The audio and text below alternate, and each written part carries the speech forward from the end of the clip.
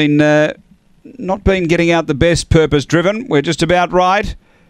And away, and uh, yeah, wants to get to the outside. Purpose driven in the initial part. It's back third last early. Mr. Ignition out really quickly. Gets over to lead. Mr. Ignition railing up as Buzz Box to take over. Uh, three away, Kildy Shadow. Two then to Purpose driven. Five away, Roxy Roller. Then Easy Bets from Jay's Ace. And back at the tail, a little bit funny off the back. And it's Buzz Box out by five. Purpose driven gives chase. It reels it in a bit. Then came Kildy Shadow on the turn. Buzz Box in front. Purpose driven flying home. Buzz Box just at enough.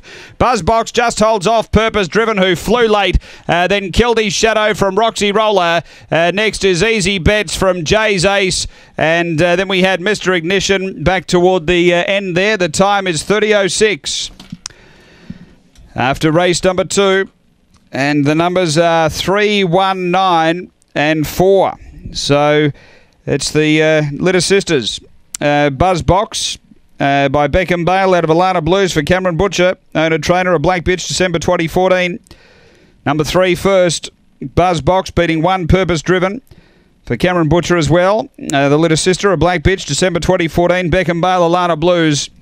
And uh, nine, Kildy Shadow, uh, Adam Manton, a black dog, April 2014. Kildy Lad, impressive rose. It's 3194 after race two here at Angle Park.